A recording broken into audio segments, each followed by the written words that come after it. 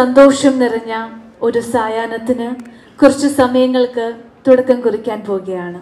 Audio launch ഫംഗ്ഷനിലേക്ക് ഇവിടെ എത്തിച്ചേർന്ന നിങ്ങളെ എല്ലാവരെയും ഒരുപാട് സ്നേഹപൂർവം ആദ്യം തന്നെ സ്വാഗതം ചെയ്യുന്നു.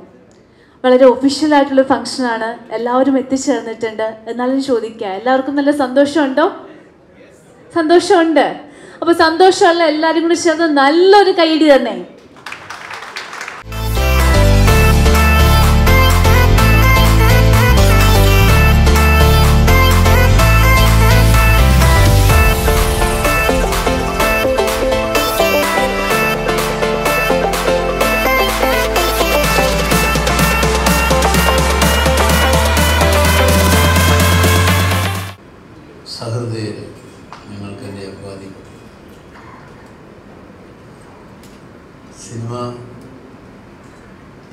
കുറേ കാലമായി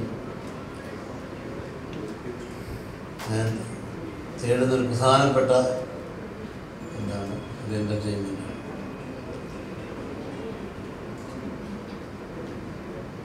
എന്റെ മൂത്ത മകന്റെ പേര് അബു എന്നാണ്. അത് വന്നത് സത്യജിത് റോയുടെ പതേർ പാഞ്ചാലി അപരാജിതോ അബു സൻസ. ക്യാരക്ടർ ഇഷ്ടപ്പെട്ടു? എന്റെ മൂത്ത സിസ്റ്ററിന് കുട്ടിയുണ്ടായപ്പോൾ ഈ പേര് നോക്കിപ്പെടാൻ എനിക്ക് പറ്റിയില്ല.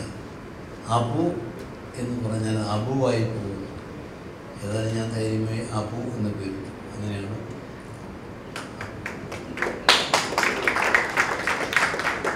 സച്ചിന്റെ പേരെങ്ങനെ വന്നറിയോ സച്ചിൻ. സച്ചിൻ ദേവ് ബർമിനെ അറിയൂ? S D Burman.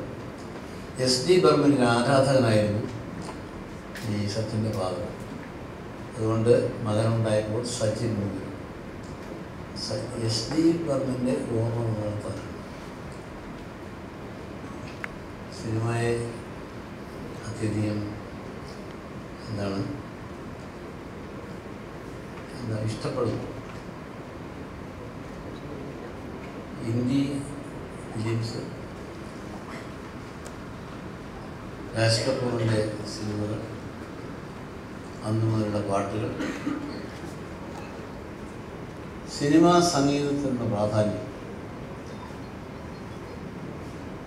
ഈ ആവാലാഹു ആ പാട്ട് ആ കാലത്ത് മോസ്കോയിലെ തെരുവുകളിൽ പുള്ളി പാടുന്നതാണ് രാജ് കപൂറിന്റെ ആവാലാഹു. ഇതിലെ മ്യൂസിക് ഡയറക്ടേഴ്സ് രണ്ടുപേരുണ്ടോ? മ്യൂസിക് ഡയറക്ടർ ഉണ്ടോ പ്ലീസ്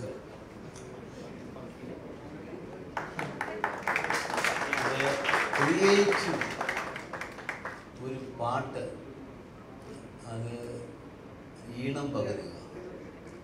ബൈബിൾ ഭാഗമുണ്ട്. നാദമുള്ള കൈത്താളങ്ങളാൽ കർത്താവിനെ വീണയും കിന്നരവും വെട്ടി കർത്താവിനെ സ്തുതിക്കും പുതിയ പാട്ടുകൾ പാടി കർത്താവിനെ ഒരു പുതിയ പാട്ട് അത് കേൾക്കുമ്പോൾ അനുഭവിക്കും ഒരു പുതിയ പാട്ടിന് ഈണം പകരാൻ കഴിയുക നൗഷാദിനെ പോലെ എസ് ഡി ബർമനിലുള്ള ആളുകൾ ഹിന്ദി സിനിമയിൽ ലോകത്ത് ബോംബെ രവി മലയാളത്തിൽ തന്നെ ബോംബെ രവിയുടെ പഴയ ഗാനം. ഈ അടുത്ത കാലത്ത് കേട്ടപ്പോഴും ബോംബെ കിഷോർ കുമാറിന്റെ ട്വന്റീസ് പാടി പാട്ടുണ്ട് നിങ്ങൾ ഇത്രയും പഴക്കമുള്ള പാട്ടാണെന്ന് വിചാരിക്കും. പക്ഷേ ബോംബെയിൽ എത്രയോ ഭിന്നമായി ചൗദക്ക ചാന്ത് പോലെ ആ പാട്ട് ഈ രാത്രി ഈ മോസം नदी का किनारा, ये चंचल हवा, ये रातें, ये मौसम, नदी का किनारा, ये चंचल हवा। तला ला ला ला तला ला ला ला तला ला ला ये रातें, ये मौसम, नदी का किनारा, ये चंचल हवा। किशोर कुमार പുതിയ പാട്ട് തോന്നുന്നു പുരാനി ഗീത്. കേട്ടിരുന്നാൽ മതി ഞാൻ മൂന്നര മണിക്ക് എഴുന്നേൽക്കുന്ന ആളാണ് ഒരു മണിക്കൂറെങ്കിലും പഴയ പഴയ പാട്ടുകൾ കേൾക്കും. അപ്പോൾ ഈ ഇത്തരം ഗാനങ്ങളിൽ ഈണം പകർന്ന ആളുകൾ ഈണം പകർന്നവരാണ് മഹാന്മാർ. അതുകൊണ്ട് ഒരു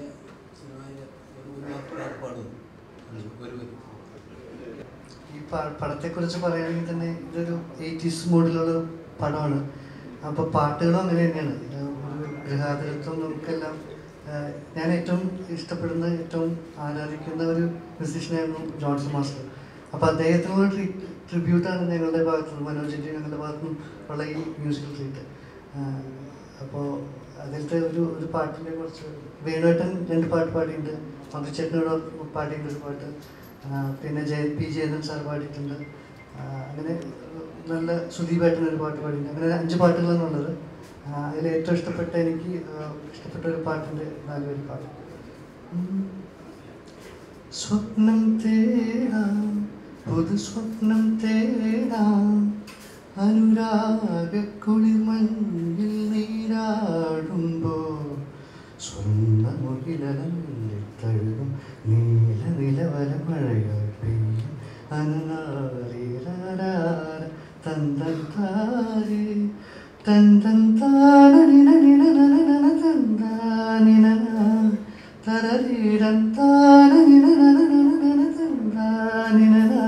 സോറി ലിറിക്സ് മറന്നുപോയി പെട്ടെന്ന് പാടാൻ പറഞ്ഞിട്ട് ഞാൻ ഒരിക്കലും കൈതം വീണ്ടും താങ്ക് യു താങ്ക് യു ആദ്യം തന്നെ നമ്മുടെ ക്ഷണം സ്വീകരിച്ചെത്തിയ എല്ലാവർക്കും ഹൃദയത്തിന്റെ ഭാഷയിൽ നന്ദി പറയുന്നു എസ്പെഷ്യലി പി ജെ ജോസഫ് സാറിന്റെ പ്രസംഗം ഭയങ്കര എന്താ പറയുക ഹൃദയം തട്ടുന്നതായിരുന്നു പിന്നെ സിബി സാറിനെയൊക്കെ കണ്ടാണ് ഞങ്ങൾ സിനിമ കണ്ട് വളരുന്നത്. സിബി സാറിനെ മധുശേട്ടനെ ശ്രീകണ്ഠൻ നായർ സാറിനെ എല്ലാവരെയും പ്രത്യേകം ക്ഷണിക്കുന്നു.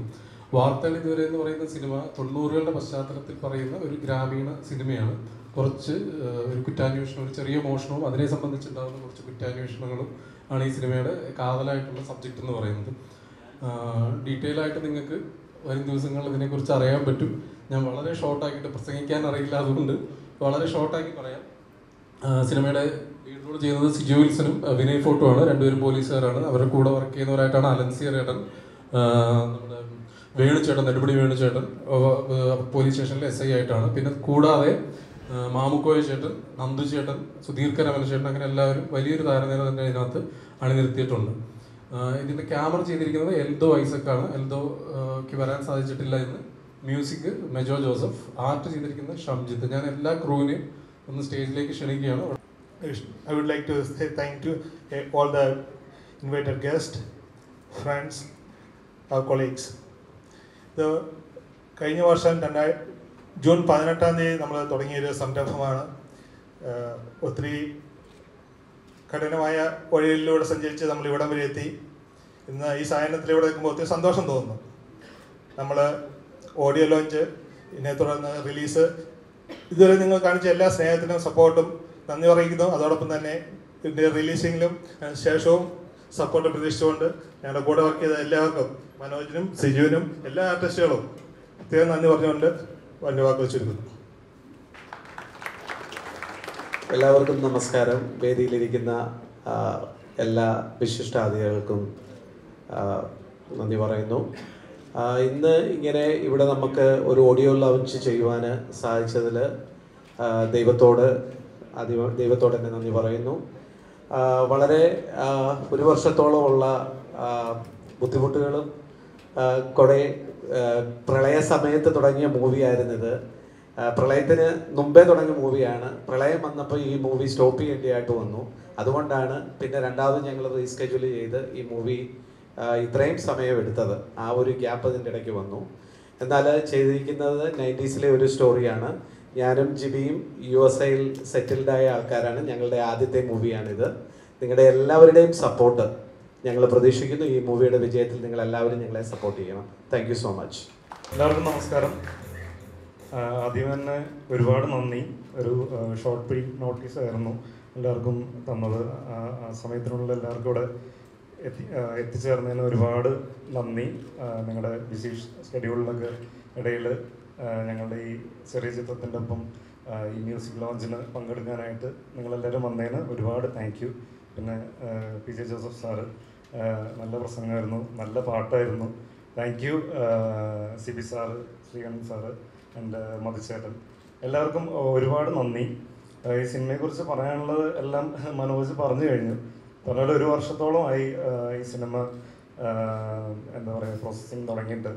കഴിഞ്ഞ പ്രളയത്തിന്റെ ഒപ്പം ഒഴുകിപ്പോയ സിനിമയാണ്. തിരിച്ചു പിടിച്ചപ്പോൾ നല്ല രീതിയിലാക്കി ഇപ്പോൾ നിങ്ങളുടെ മുമ്പിലേക്ക് പ്രസന്റ് ചെയ്യാനായിട്ട് കൊണ്ടുവന്നേക്കാണ്. വളരെ ബ്യൂട്ടിഫുൾ ആയിട്ടുള്ള സോങ്സും കാര്യങ്ങളൊക്കെ ഉണ്ട് മെജോന്റെ ഒക്കെ. പിന്നെ ഇതിന്റെ ഡി ഒ പി എൽഡോ വളരെ ബ്യൂട്ടിഫുൾ ആയിട്ടുള്ള വിഷ്വൽസാണ് നിങ്ങൾക്ക് ഇത് കഴിയുമ്പോൾ ഇത് കാണിക്കുന്നുണ്ട്. ആ. അതെ. അപ്പോൾ നിങ്ങൾക്ക് കാണാൻ പറ്റും. തീർച്ചയായിട്ടും ഒരു നയന്റീസ് എയ്റ്റീസ് എയ്റ്റീസ് മൂഡിലുള്ള ഒരു സിനിമയായിരിക്കും. അപ്പോൾ എല്ലാവർക്കും എൻജോയ് ചെയ്യാൻ പറ്റുമെന്നാണ് ഞങ്ങളുടെ വിശ്വാസം. അപ്പോൾ പെട്ടെന്ന് തന്നെ തിയേറ്ററിൽ ഞങ്ങൾ ഇറക്കുന്നതായിരിക്കും. എല്ലാവരും തിയേറ്ററിൽ പോയി കണ്ട് ഇത് വിജയിപ്പിക്കണം. Thank you. Thank you so much.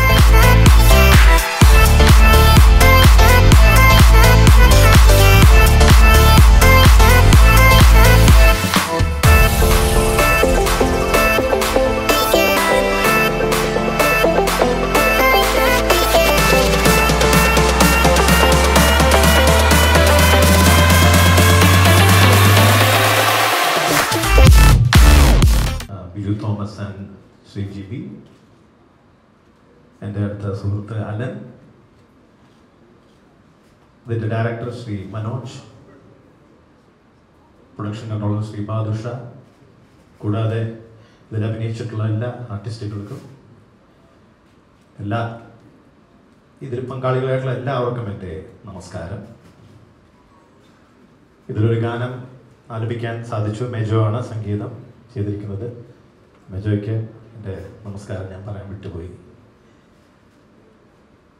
വളരെ നല്ല മെലഡികൾ നമുക്ക് മെജോ സമ്മാനിച്ചിട്ടുണ്ട്. ഇതിലും വളരെ നല്ല ഇമ്പമാർന്ന പാട്ടുകളാണ് മെജോ ചെയ്തിട്ടുള്ളത്. അത് നല്ല അതിനനുസരിച്ച് നല്ല വരികൾ കൈതപ്രം തിരുമേനിയും മറ്റ്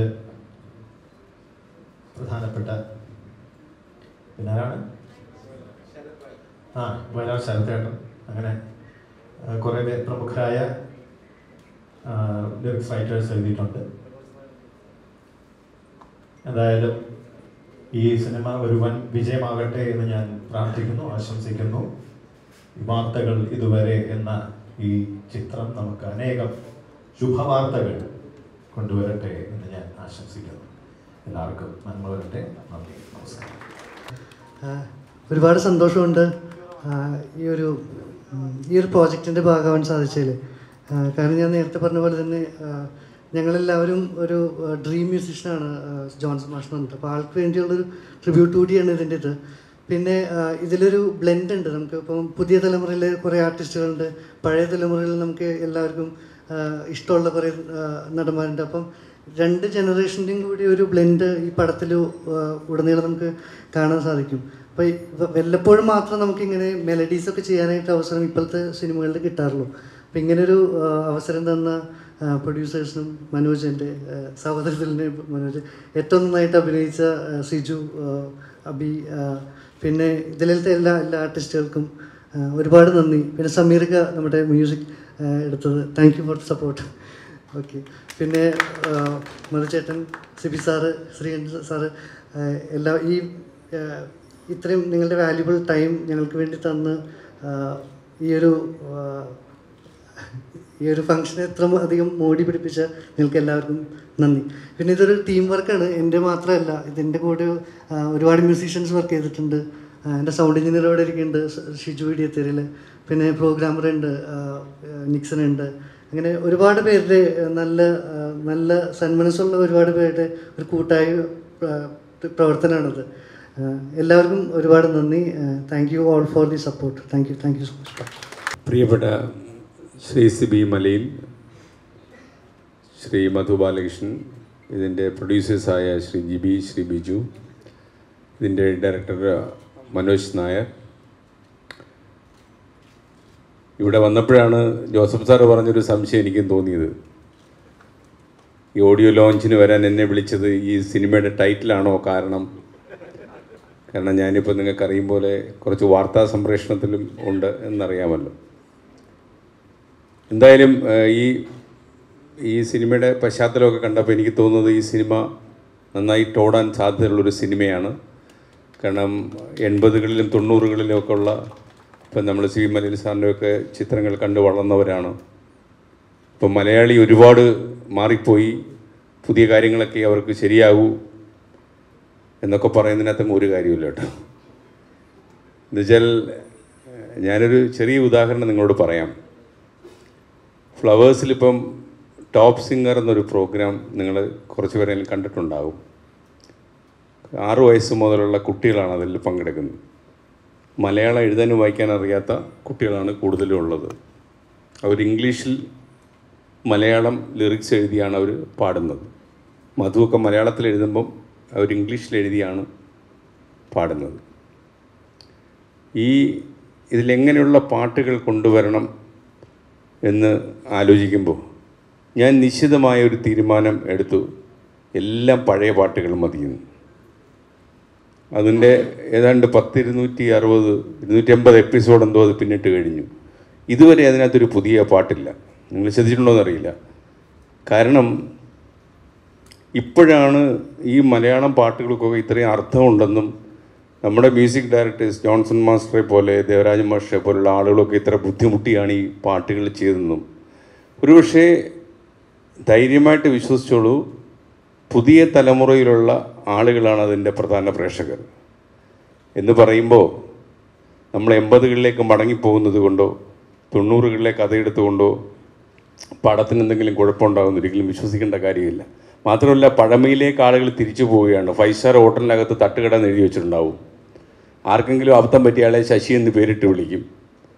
അപ്പോൾ ഇത് എല്ലാം നമ്മൾ പഴയ കാലത്തേക്ക് മടങ്ങിപ്പോകുന്നതിന്റെ ഒരു ഒരു സംഭവമാണ്. വെച്ചാൽ മലയാളി അവന്റെ ആത്മാവിൽ സൂക്ഷിക്കുന്ന ചില കാര്യങ്ങൾ. പിന്നെ ഒറ്റ കാര്യമുള്ളൂ ഇപ്പോൾ പാട്ടായാലും സംഗീതമായാലും മഞ്ജുയുടെ പാട്ടുകൾ നമ്മൾ കേട്ടു.